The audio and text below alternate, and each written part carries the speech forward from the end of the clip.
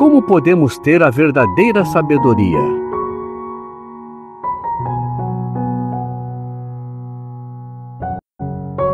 A sabedoria envolve usar o que sabemos para tomar boas decisões.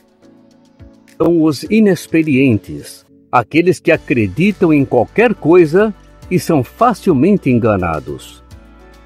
Não é à toa que a Bíblia nos incentiva a nos tornar adultos no nosso entendimento. Irmãos, não se tornem crianças no seu entendimento. Sejam crianças quanto à maldade e tornem-se adultos no seu entendimento.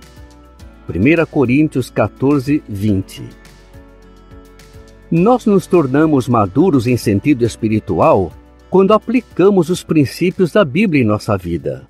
Pouco a pouco, vemos por experiência própria como esses princípios nos ajudam a evitar problemas e a tomar decisões sábias. Como estamos nos saindo nesse ponto? Se já estamos estudando a Bíblia e assistindo às reuniões por algum tempo, seria bom nos perguntar por que ainda não demos os passos necessários para nos dedicar a Jeová e ser batizados. Se somos batizados, será que estamos progredindo como publicadores e instrutores das boas novas? Nossas decisões mostram que somos guiados pelos princípios da Bíblia? Mostramos qualidades cristãs ao lidar com outros? Se percebermos que há campo para melhora, devemos prestar atenção aos ensinos de Jeová que tornam sábio o inexperiente.